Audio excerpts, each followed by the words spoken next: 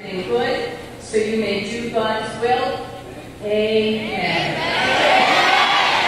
May St. Marcellin Champagnat's commitment to what stated inspire you to serve others and make Jesus known and loved. Amen. And may you all be blessed, Father, Son, and Holy Spirit. Amen.